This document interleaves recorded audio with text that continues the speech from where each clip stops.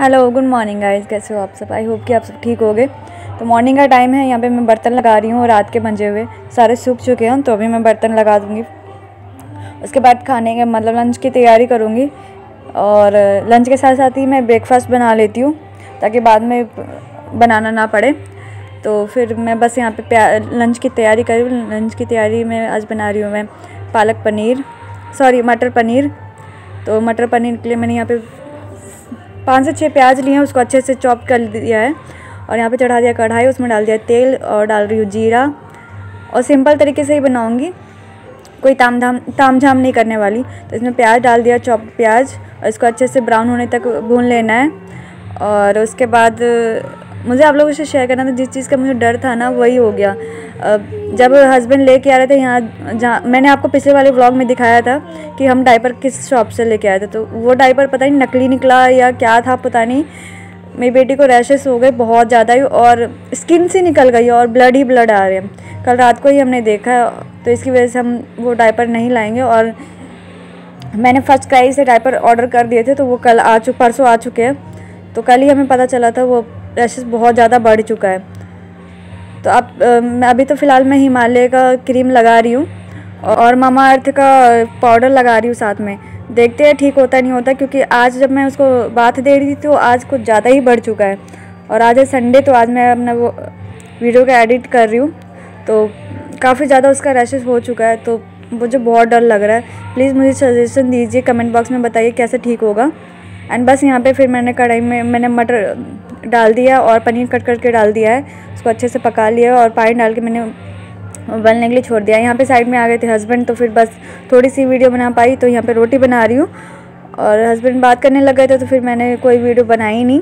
रोटी बना के जस्ट जो वीडियो एंड हुआ, बस वहीं पे छोड़ दिया था। और बस रोटी बन गई है, उसके बाद फिर मैं चाय बनाऊँगी। तो हस्बैंड चले गए थे उसके बाद फिर मैंने वीडियो बनाना था। हस्बैंड बात करने लग गए तो इसलिए फिर मैंने कोई वीडियो बनाई नहीं। फिर ध्यान नहीं होता है। एक जगह ही ध्यान हो पाता है इसकी वजह से। तो फिर यहाँ पे देखिए सब्ज़ी बन चुकी है और काफ़ी अच्छा कलर आ गया। और सब्ज़ी भी काफ़ी टेस्टी बनी थी, बिना टमाटर के, अदरक लहसुन के बनाया था मैंने।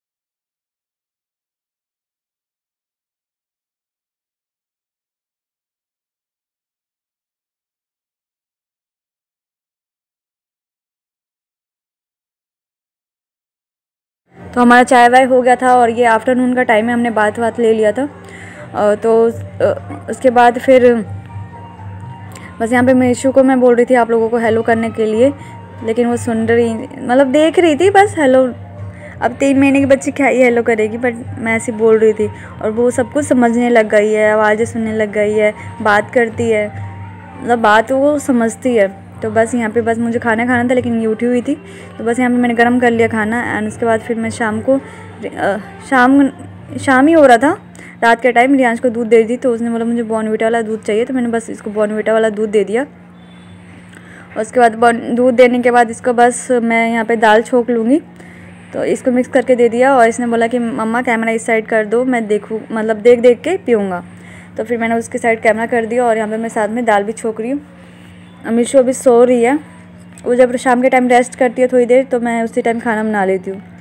क्योंकि हस्बैंड का पता नहीं होता, कभी वो नौ बजे आते, कभी दस बजे, कभी ग्यारह बजे तो इतनी रात को खाना नहीं बना सकते। क्योंकि भूख लग जाती है इसकी वजह से। तो बस यहाँ पे मैंने डाल दिया है जीरा और दाल की रेसिपी मैंने काफ़ी बार आप लोगों से, के साथ शेयर की है तो इसकी वजह से बस मैं शेयर नहीं कर रही हूँ। और यहाँ पे मैं सुबह की तैयारी भी साथ साथ में कर रही हूँ।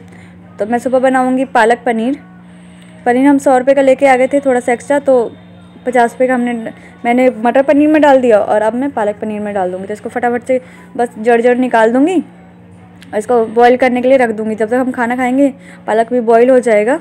और पालक पनीर की रेसिपी मैंने, मैं शॉर्ट वीडियो पर डालूँगी शॉर्ट्स पे तो आप लोग ज़रूर देखिएगा। और बस यहाँ पे फटाफट से मैं पालक को छाट के कट करके और रख दूँगी। पालक ताज़ा, ताज़े ही थे। तो इसकी वजह से मुझे ज़्यादा नहीं छाटना पड़ा और निकालना नहीं पड़ा। इसमें कोई गंद वंद नहीं था, कोई गले वले नहीं थे। उसके बाद बस यहाँ पर बना रही हूँ चाय। ये अगले दिन का क्लिप है तो मैं उससे, उसके बाद कोई वीडियो शूट नहीं कर पाई। तो ये अगले दिन मैं बना रही हूँ चाय, उसके बाद बना रही हूँ रोटी, लंच की तैयारी हो रही है। तो बस यहाँ पे रोटी बना के, उसके बाद यहाँ पर जब तक चाय उबल जाएगी तो मैं इसमें डाल दूँगी दूध। फिर दूध डालने के बाद जब तक चाय उबलेगी तब तक यहाँ पे रोटी भी बन जाएगी। और मैं हमेशा ऐसे करती हूँ। चाय बनाती हूँ, एक साइड रोटी बनाती हूँ, रोटी बनने के बाद बस अपना नाश्ता भी बना लेती हूँ। और यहाँ पे बन चुकी है चाय, आप लोग भी आइए, पी लीजिए। और उसके बाद ये घी पकने के लिए रख दिया था मैंने। सारे काम वाम हो गए तो उसके बाद मैंने घी पकने के लिए रख दिया था। तो घी थोड़ा सा जल गया, जब तक कूड़े वाली आंटी आ गई, मुझे पता ही नहीं चला। और आंटी को कूड़े देने के चक्कर में यहाँ पे घी जल गया। बट कोई बात नहीं, चलेगा। उसके बाद मैंने इसको कंटेनर में रख दिया है एयर टाइट कंटेनर में। और उसके बाद फिर ये इवनिंग का टाइम है, करीब तीन चार बज रहे होंगे। तो फिर मैं यहाँ पे रियांश के लिए और अपने लिए अनार को छिल के रख दाने निकाल लूँगी। और बस हम दोनों ये खा लेंगे। और साइड में मैं उबाल रही हूँ जीरा वाला पानी। पानी पियेंगे। पानी को मैं बोतल में भी भर के रख लेती हूँ ताकि ठंडा हो जाए। एंड गाइज़ प्लीज़ मुझे कमेंट बॉक्स में बताना ना कि रैशेज़ कैसे ठीक होंगे। क्योंकि रियांश के टाइम में हुए नहीं थे तो अभी थोड़ा सा मुझे पता ही नहीं, समझ में नहीं आ रहा। और यहाँ पे रियांश अपनी बहन को प्यार कर रहा है, उससे बहुत शौक होता है कि अपनी बहन को लेकर खिलाए, गोद में ले। बट वो छोटी है, इसलिए हम जल्दी देते नहीं हैं। ये इरीटेट कर देता है उसको हिला हिला के दबा दबा के, रोने लग जाती है।